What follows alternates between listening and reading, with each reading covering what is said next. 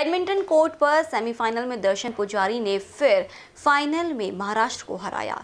वह हरियाणा से एम चौधरी को तीन सीटों से हराया। हालाँकि इस मैच में उन्हें जीत के लिए संघर्ष करना पड़ा।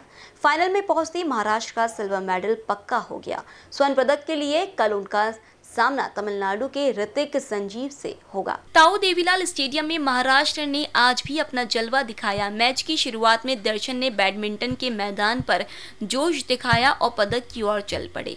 लेकिन फिर वह पिछड़ गया। उन्होंने पहले सेट में 10 के मुकाबले चार के स्कोर के साथ वापसी की और पहला सेट 21 में 17 के खिलाफ जीता। दूसरे सेट में दर्शन ने लापरवाही की, इसलिए उन्हें दूसरा सेट गंवाना पड़ा। नतीजा यह रहा कि मैच तीसरे सेट तक चला। दर्शन ने अब तक सभी दो सीधे सेट जीते थे, लेकिन हरियाणा के एम चौधरी ने संघर्ष किया। तीसरे सेट के लिए भी दोनों भिड़ गए।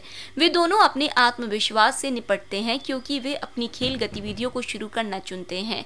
दस दस, बारह बारह, पंद्रह पंद्रह की तरह लड़ाई हुई।